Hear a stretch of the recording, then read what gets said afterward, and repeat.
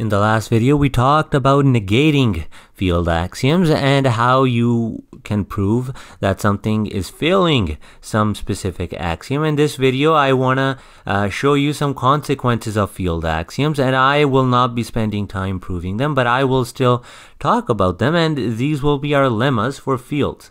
Now, one specific change that I want to institute from, from this video on is that if, I, if, if you see me say, well, x and y, this is equivalent to me saying x times y. I don't want to waste time or space uh, putting the dot. I hope you are used to seeing these two variables being multiplied in, in this specific uh, manner. So let's actually get started and let me show you one of the first consequences of a field. So we are we will call this our lemma and we will since it's the first one in fields we will call it lemma f1.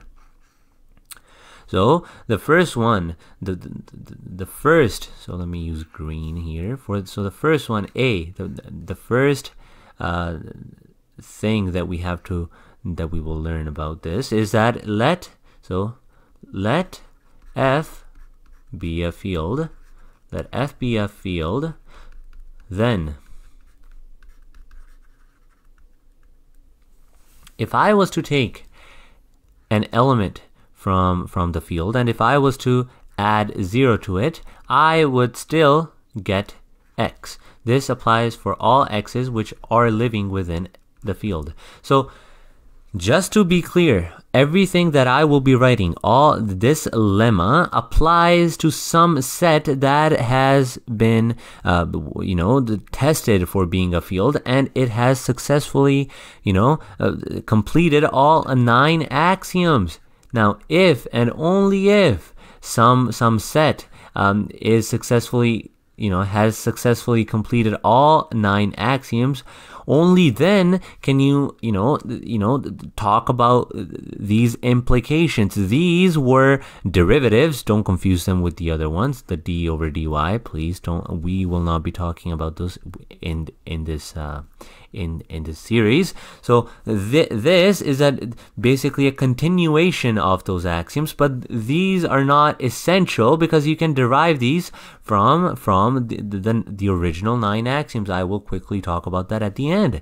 So b our second property. So you can think about these as properties as many as many properties. So i'm just gonna give you all the letters so i have to uh, so i don't have to uh, change the color every time I want to write uh, my properties. So uh, the second one is if I was to take the negative x and was to add it to x. So this is a this is an axiom. You don't need to you don't really need to worry about this. This is just for formality. This is one of the nine one of the nine axioms. And this is another one right off the the axioms that we talked about last time. So if you don't know what I'm talking about, then you can go back and watch my video on on the on the on the nine well on the field axioms. So this is also this is also the same. So why am I rewriting this? Why are these not the same as uh, the field axioms? I'm switching the order. If you remember in the in in the field axioms, I was saying that if you were to add x plus negative x, then we would get 0. And I said if you, this is almost identical to what I said in the, in the, in the axioms. And this has been switched for order just to show you that it's the same thing. So, uh, one. So this is what I wrote for the field for the field axioms, but I'm just switching the order in in B and D to show you to show you that you know, it still works. And the last one is a right-handed distributivity. So if I was to take two elements and add them and multiply another element from the right side, then this will be equal to uh, x times z and y times z, y times z for all for all x, y, and z, which are elements of the of the field. And if you if you if you're confused why this is not one of the axioms in the in the in, in the axioms i talked about something like this. If i had something on the left side this is on the right side. If if in in the, in, in the axioms if something was on the left side and if i was to add two elements and you distribute the, the x throughout in both uh, terms and then you would have x times y and this would be added to x times z. So all these are very easy and I'm not going to spend time proving them because the, the, the, the proofs are directly, um, you know, just commutativity or yeah, additive commutativity, multiplicative commutativity, additive neutral, additive inverse, multiplicative neutral, multiplicative identity, and distributivity. You could just use the axioms to, to prove any of these we we didn't really explicitly write any of these down because they are pretty pretty simple pretty you know common sense. They're pretty trivial if i was to use the word trivial. Now you have to note something here is that if if you want to prove something you can't just start with what you want to prove okay? You can't you can't just let's say i think this is worthwhile noting. I see several youtube videos on let me this is what i see on on the on the youtube on the youtube. So on youtube this is what i see. Some some smart high school kid says whoa is one equal to two well, if I was to if I was to multiply 0 here and if I was to multiply 0 here, well then the 0 will be equal to 0 so by the logic of a high school student, uh, I have just proven to you that well 1 is equal to 2. However, this is wrong. This is completely wrong. If you want to prove for some reason you doubt that 1 is not equal to 2 you can't you can't start with what you want to prove. This individual started with their their proof. 1 equals to 1 equals to 2 you can't start with this. You have to start with 0 and and and well not specifically 0 but you have to start with something that is not what you want to eventually prove. You need to have some sort of if then kind of situation or uh, if or if and only if situation in in um, in this case you would have to show that whatever you have here is a subset of this thing and whatever you and and then the second portion of the proof will be that you, whatever you have here will is a subset of this. And if you don't know what i'm talking about you should go back to the logic videos that i did. And i think i talked about uh, the proof strategies uh, in one of those in one of those videos the second lemma that I want to give you so that we don't have to uh, we don't have to waste time proving proving these these property is our lemma of fields. So lemma f2 f2 so in this in in this let f be a field.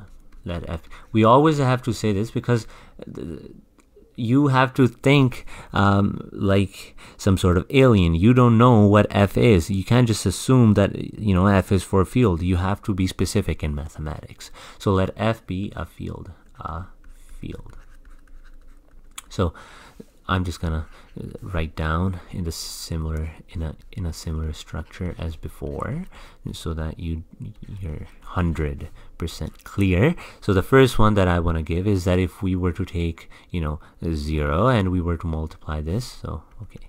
So if I was 0 and then multiply this you know with x then we would get 0 for all x's which are in the field now, if I was to take, you know, negative x is the same thing as me saying negative 1 times x for all given x in the in the field. The third one is that if I was to take a negatives, okay, a negative of a negative of, of an x, that will be equal to x. So everything that I am saying here, you can just assume because these, anything that we have proven, proofs, and any lemmas and theorems that I cover in this, you can just assume for later proofs that we will be doing in the course.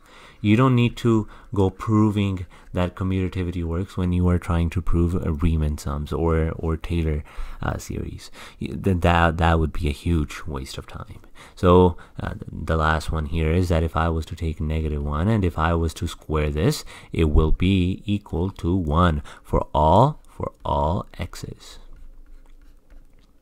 So I think I think just for fun, let me let me show you the proof of the first one. Let me show you the proof of A. So this is a proof of part A. So what you want to show is that the left hand side is the same is the same as what as the right hand side so here you have a you have a choice either you start with the left hand side or you can start with the right with the right hand side so this is how you do it i'm gonna start i will start with with uh with the with a mixture actually so i'm gonna actually start with the left hand side and i'm gonna stop and then i'm gonna start with the left hand side so you might be confused uh, that what did I just say. So I start with the left hand side and I say, well, 0 times x, what is this equal to? Well, we know that 0 is the same thing as me saying 0 plus 0. So I could just put this in brackets and I could say 0 plus 0, you know, because it's still 0, then this would be equal to x. Now we use uh, this property that I gave at the start, uh, the right-handed distributivity, to to distribute uh, the x inside of the brackets. So you we, so we will say well zero uh, x plus zero x. What I basically did is I just distributed the x, and we can actually remove the bracket. So we will have zero x plus zero x. Now, we stop here and now I work with the right, right hand side, right hand side. So I start with zero. We know what zero is. Zero, we, this is one of the axioms. If I was to take, if I was to take some sort of A, so for all A, there exists an A, uh, so sorry, a minus A, such that if I was to add them, a plus minus a, I would get our uh, identity, additive identity, which is zero. We know that this is true, so we can just, you know, say that that's what this is. So let's choose our a. Let's choose a convenient a. Let me make a 0x. So the a inverse, so sorry, I keep thinking about multiplicative inverse. The negative a will be minus 0x. So 0 can be received by me just saying 0x plus minus. So actually, let me do it without the brackets to make it extremely clear. 0x plus minus 0x. This will give you 0. So um, this we we know will be the same as me saying what. We we talked about this. This okay let me use green. We know that 0x is equal to 0x plus 0x so what I will do now is I will replace this 0x 0x with this stuff. So what I'm doing is well okay that stuff so it, it will be 0x plus 0x and and then it's just plus minus 0x.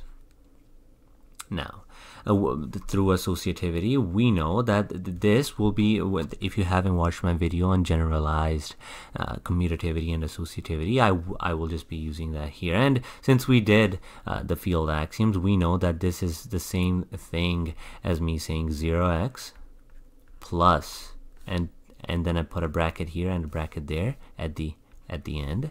So it, it, it will be uh, 0x minus 0 minus 0x.